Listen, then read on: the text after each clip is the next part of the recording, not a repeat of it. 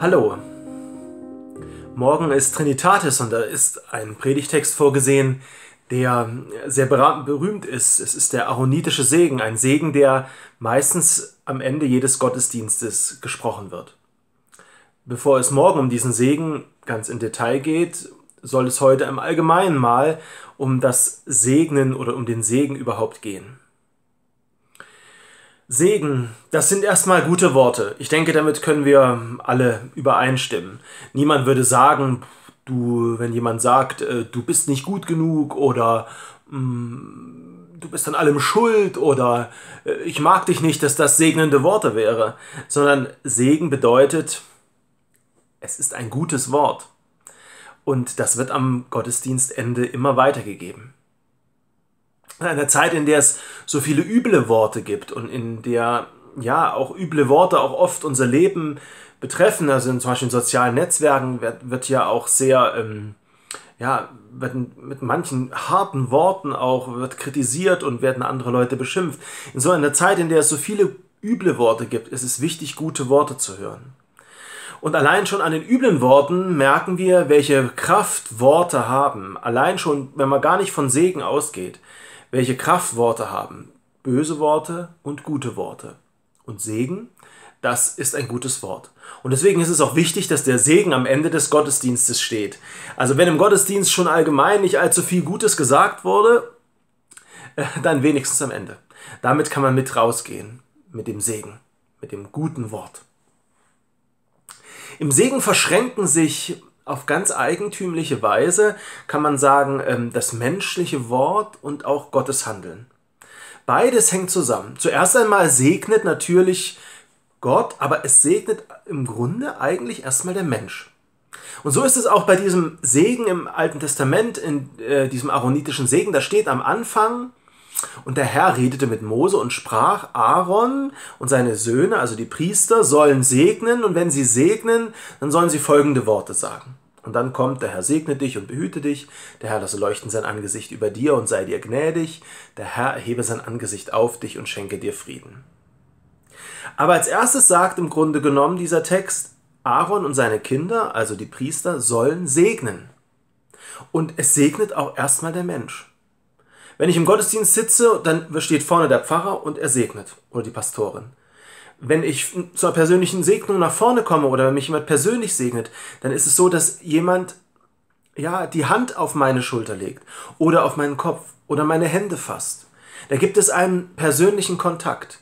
Und wenn ich dann da stehe und den Segen empfange, dann höre ich als erstes das Wort des anderen Menschen. Also insofern ist es wirklich so, der Mensch segnet zuerst. Das ist die eine Seite der Medaille.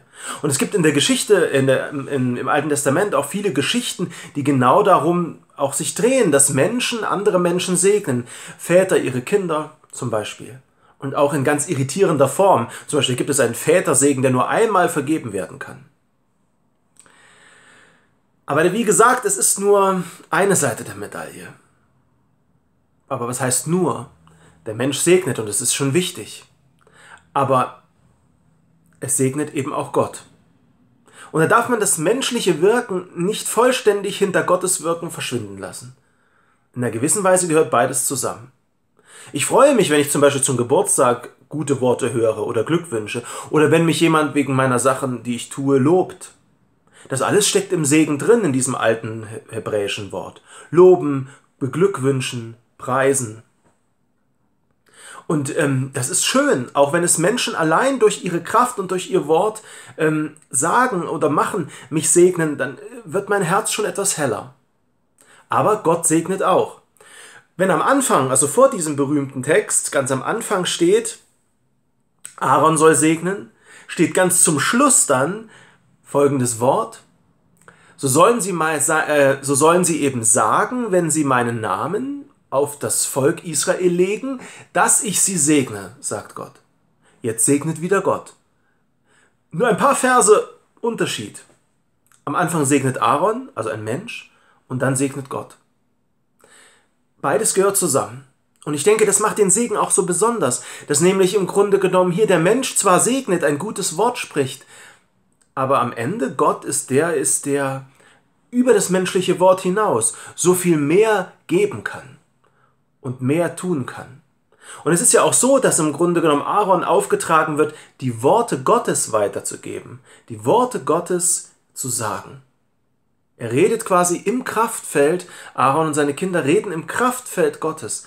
Man kann sagen, im Segensstrom. Und so ist es auch, dass wenn ich segne oder wenn andere Menschen segnen, dass sie die guten Worte sagen, die Gott vorgegeben hat. Beziehungsweise, wenn es muss ja kein Bibelwort sein, aber im Grunde genommen segnet man, segne ich immer im, im Wissen darum, dass es Gottes Wille ist und in seinem Weg. Und dann kann im Grunde genommen hier menschliche Handlung und göttliches Wirken zusammenkommen. Wie gesagt, Gott und Mensch hängen beim Segen eng beieinander. Und es ist keine Einbahnstraße, sondern es gehört zusammen. Gott und Mensch. Im Alten Testament gibt es eine ganz interessante ähm, Bedeutung, auch dieses Wort Barach, segnen. Das kann ich nämlich, wird nämlich auch benutzt für den Menschen, der Gott segnet. Das ist für mich persönlich erstmal ganz äh, fern. Ich soll Gott segnen, aber für den alttestamentlichen Menschen ist es ein, man kann sagen, ein Hin und Her. Gott segnet mich und ich segne ihn. Und wie segne ich Gott? Ich segne Gott, indem ich ihn lobe, indem ich Gutes von und über ihn erzähle, indem ich ihm Gutes sage, indem ich sage, das hast du gut gemacht, wie du in meinem Leben fügst und dass ich ihn lobe, das hast du gut gemacht, wie du die Welt ge geschaffen hast, wie schön es draußen ist, jetzt wo es regnet, dass wieder alles wächst und dass die Früchte, dass die Welt Früchte bringt, das ist gut. Also kann ich Gott loben. Ich kann ihn segnen. Sie sehen also, dass Segen nicht nur etwas ist, was, wo Gott und Mensch miteinander wirken, sondern es ist auch etwas, was ich im Grunde genommen in mein Gebetsleben hineinlassen kann. Ich kann Gott loben. Und es gelingt mir, wenn es mir gelingt, das zu tun, also wenn es, wenn ich, wenn ich schlecht gelaunt bin oder wenn ich eine sehr gedrückte Stimmung habe und es gelingt mir, Gott zu segnen, ihn zu loben, dann merke ich, dass das Auswirkungen hat. Nämlich auch Auswirkungen in erster Linie auf mich. Dann merke ich, dass da hineintrete in einen Segensstrom, der ein Stück weit auch meine eigene Traurigkeit oder meine dunklen Schatten zur Seite schiebt. Segen braucht die Welt. Die Welt braucht gute Worte. Böse Worte hat sie schon genug. Ich darf Menschen segnen, ihnen ein gutes Wort weitergeben, vielleicht sogar Gottes Wort. Dabei muss ich sogar nicht stehen bleiben, ich kann auch Gott segnen mit meinem Lob, mit meinem Lied, mit meinem Dank. Dazu möchte ich Sie ermutigen. Wenn Sie sagen, das ist, ich möchte gerne noch ein bisschen mehr über diesen aaronitischen Segen, der Herr segne dich und behüte dich und so weiter, hören, dann äh, lade ich Sie herzlich ein, morgen wieder dabei zu sein. Da wird es dann etwas näher um diesen ganz berühmten aaronitischen Segen gehen. Seien Sie gesegnet.